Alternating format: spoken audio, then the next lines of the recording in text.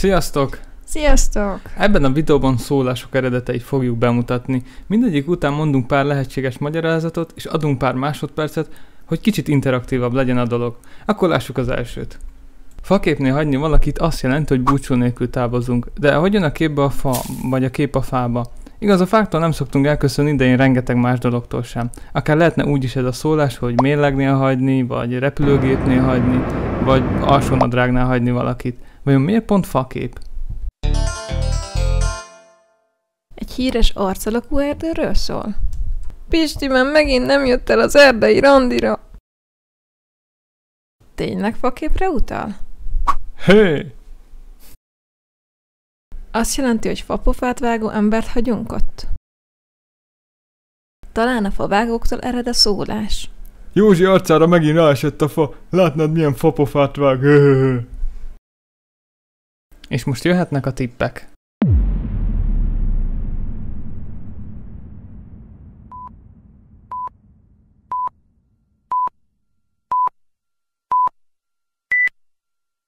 A szólás a reformáció korából ered. A kapukat faragványokkal, faképekkel díszítették. A gazda a kapufanál beszélgetett az ismerősével, és ha azok búcsú nélkül távoztak, akkor szó szerint faképnél hagyták a gazdát. Hé hey, Józsi, hová mész? Most akkor kell a birka, vagy nem? Ordít, mint a fába szorult féreg. Ezt arra mondjuk, aki keservesen kiabál. Nem tudom, hogy vagytok vele, én még nem hallottam férget ordítani. Képzeljétek el, ahogy a horgász lemegy a partra, és közben hangosan visít a csali.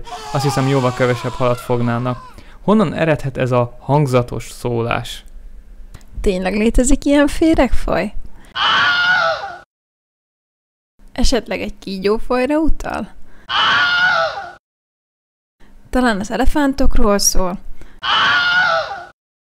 Vagy farkashoz hasonlítjuk?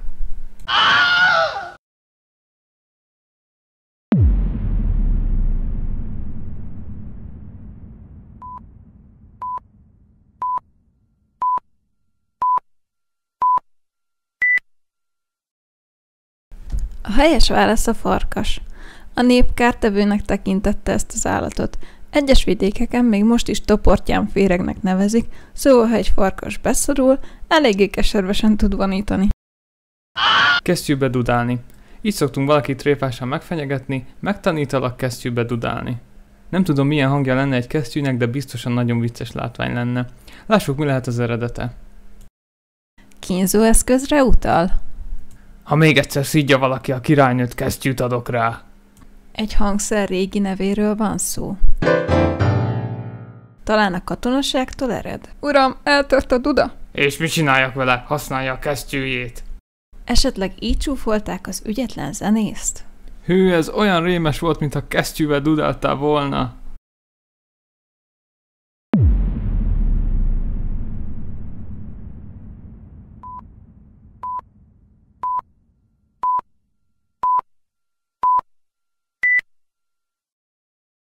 A szólás a 18. század végén kezdett elterjedni.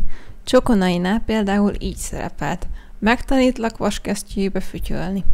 A vaskesztyű egy készüleszközre utal, aminek a használatakor a vádlott fájdalmasan jajgatott, cinikusan mondva dudált. Fabatkát sem ér, mondjuk arra, amit értéktelennek tartunk. Talán ti is használtátok már ezt a kifejezést, ha nem, akkor biztosan hallottátok már. A legtöbben értjük a jelentését, miközben fogalmunk sincs, mi az a fabatka. Tényleg létező dolog, vagy csak egy kitalált szó? Na jó, annyit segítek, hogy tényleg létezik. De mi lehet ez? A romlott ételt hívták így. Megint tele van a hűtő fabatkával. Mikor fogsz kitakarítani, kisfiam? Régi pénz, nem?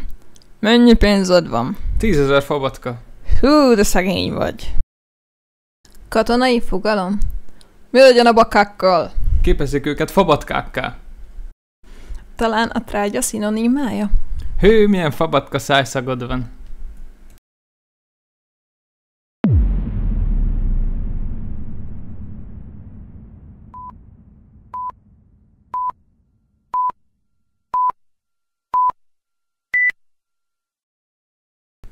A batka egy régi csehországi pénznem, ami a 16. században volt forgalomban. Olyan keveset ért, hogy hármat is adtak egy krajcárért, de volt, aki négyet is, csak hogy megszabadulhasson tőle. A faszó nem azért szerepel az elején, mert abból készült volna, csupán ezzel fokozták az értéktelenségét. Tehát ami fabatkát sem ér, az kevesebbet ér, mint a legértéktelenebb pénz nem utánzata. Kosarat kap annyit tesz, mint visszautasítani valakinek a közeledését. Általában a kosárban finomságok lapulnak, de ebben a kontextusban valami negatív dolgot rejthet. Milyen szörnyűségre utalhatunk ebben a szólásban? Egy lovakkori kifejezésről van szó? Ó, egy kosár, de kedves vagy. De hát ez lyukas. Egy fegyver neve? Tegnap beszólt nekem Józsi, de átküldtem rajta egy kosarat. Nemi betegségről van szó? Szívem, most hívott az orvos. Kosaram van. Esetleg a bebörtönzés szinonimája? Emlékszel Bélára a tegnapi balhéról? Igen, mi lett vele? Kosarat kapott.